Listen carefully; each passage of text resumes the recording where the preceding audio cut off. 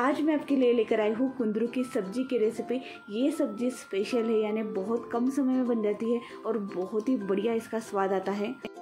इसे बनाने के लिए आपको पहले से कोई भी तैयारी करके रखने की ज़रूरत नहीं पड़ेगी।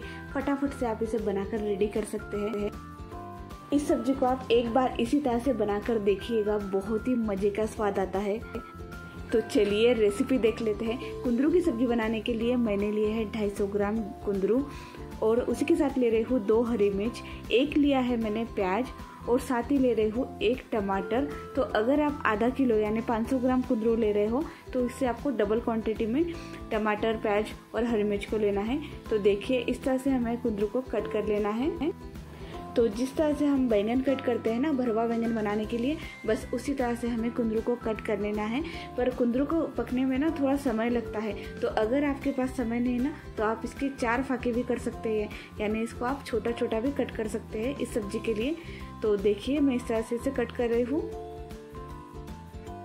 मैं इसी तरह से सब्जियों की रेसिपी लेकर आती हूँ, जो आप टाइम के साथ एडजस्ट कर सके, यानी अगर आपके पास कम समय है तो आप किस तरह से सब्ज़ी बना सकते हैं, यही मेरी कोशिश रहती है। तो देखिए, हमने क्या कर लिया है, इस तरह से ना इसे कट कर लिया है, और हमें क्या करना है, इसे अच्छे से धो लेना है। कुंदरू में ना एक लिस लिसापन रहता है, वो पूरी तरह से निकल जाना चाहिए तो अच्छे से हम इसे ना मसल कर धो लेते हैं। और साथ ही साथ हमें क्या करना है, इसे निकालते समय ना इस तरह से प्रेस करके निकालना है। देखिए इस तरह से। तो कुंदरों को हमने साफ़ कर लिया है। साथ ही ले रही हूँ दो हरी मिर्च को। हरी मिर्च को मैंने बारीक कट कर लिया है। प्याज को भी हमें बारीक कट कर लेना है। हरा धनिया लिया है कटा हुआ और टमाटर लिया है।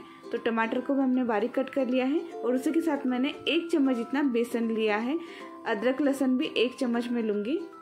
तो हमें क्या करना है, एक चम्मच में तेल इसमें ऐड कर रही हूँ वन टेबल स्पून लिया है तेल।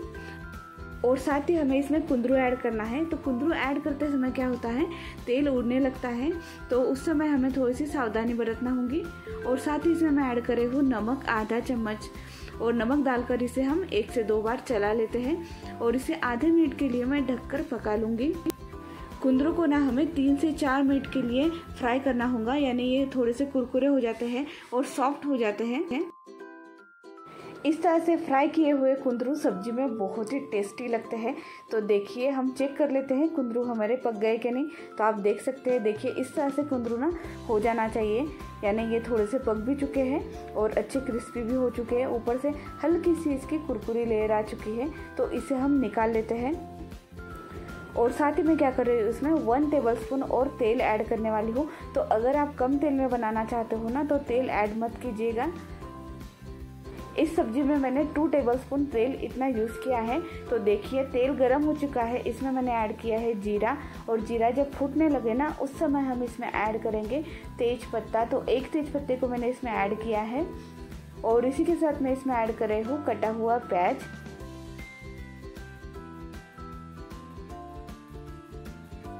सब्ज़ी में प्याज का कलर हमें ब्राउन चाहिए, यानी प्याज ब्राउन कलर के हो जाना चाहिए। तो इसलिए हमें क्या करना है, जब प्याज पर हल्का कलर आता है तो उस समय इस पर हमें बेसन ऐड करना है और बेसन के साथ में हमें प्याज को पकाना है, जिससे बेसन भी अच्छे से पक जाए और प्याज पर कलर भी आ जाए। कुंदरू की सब्ज़ी अगर आपको ग्रेवी की बनाना है तो आप किस तरह से बना सकते हैं, ये भी मैं आपको साथ ही साथ बताऊँगी। तो देखिए, आप देख सकते हैं, प्याज हल्का सा ब्राउन हो चुका है। तो इस समय हम इसमें ऐड करेंगे एक चम्मच इतना बेसन। 250 ग्राम कुंदरू के लिए हमें एक चम्मच बेसन ऐड करना है और अगर आप 500 ग्राम ले रहे होंगे कुंदरू, यानी आधा किलो अगर आप कुंदरू की सब्ज़ी बना रहे हो तो दो चम्मच आपको बेसन लेना है, ये आपको ध्यान रखना है। तो देखिए, बेसन को हम अच्छे से भून लेंगे। बेसन को भूनने में एक मिनट तक लग जाएगा। अच्छा इसका कलर निकल कर आ जाना चाहिए, यानी अच्छे से झाग बनना चाहिए, तब तक हमें बेसन को भूनना है। और साथ ही साथ में एक चम्मच इसमें अदरक लहसुन की पेस्ट ऐड कर रही हूँ। तो अदरक लहसुन को भी हम अच्छे से भून लेते हैं। और उसी के साथ हम इसमें सूखे मसाले ऐड करेंगे। सूखे मसाले इस समय ऐड करने से क्या होता है? सब्ज़ी का कलर अच्छे से निकल कर आता है। तो लाल मिर्च पाउडर मैं ले रही हूँ, एक चम्मच। उसी के साथ मैं रेगुलर लाल मिर्च पाउडर ले रही हूँ। ये तीखा वाला लाल मिर्च पाउडर है। ये आधा चम्मच मैंने लिया है। धनिया पाउडर ले रही हूँ, आधा चम्मच। और उसी के साथ ले रही हूँ हल्दी पाउडर, वो भी आधा चम्मच ले रही हूँ। हरी मिर्च ली है, दो कट कर कर। तो हरी मिर्च डालना बहुत ही ज़रूरी है, तभी कुंदरू की सब्ज़ी अच्छी बनेगी, ये हमें ध्यान रखना है। तो इसे हम अच्छे से चला लेते हैं। आप देख सकते हो, सूखा मसाला भी अच्छे से भून चुका है। और इसी के साथ मैं इसमें ऐड कर रही हूँ टमाटर।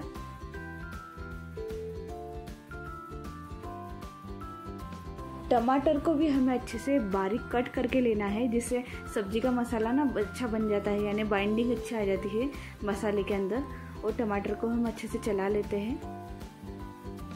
और उसी के साथ हम इसमें ऐड करेंगे आधा चम्मच इतना कसूरी मेथी को। कसूरी मेथी से बहुत अच्छा टेस्ट आता है। एक बड़ा चम्मच इसमें ऐड कर रही हूँ, मलाई।